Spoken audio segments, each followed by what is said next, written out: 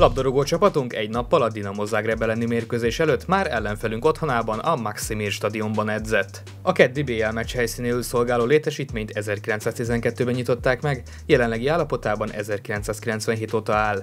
Bár a nagy rangadókért rendszeres a verseny a Hajduk Split stadionjával, a horvát válogatott nagyrészt ebben a stadionban játsza mérkőzéseit, illetve a bajnokok ligája találkozókat is folyamatosan rendeznek a horvát főváros stadionjában. A több mint 35 ezer befogadó képességű Maximé stadion nem csak futballmérkőzéseknek, hanem koncerteknek is helyszín biztosít.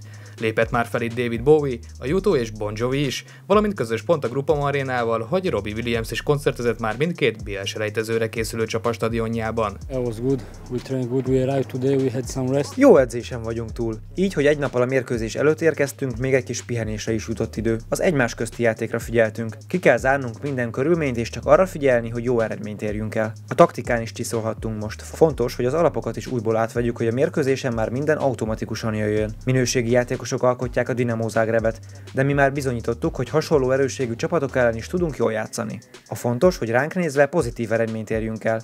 Persze nyerni lenne a legjobb, de a lényeg, hogy a visszavágót jó helyzetből várhassuk. Important. Get good good result. You know, most important.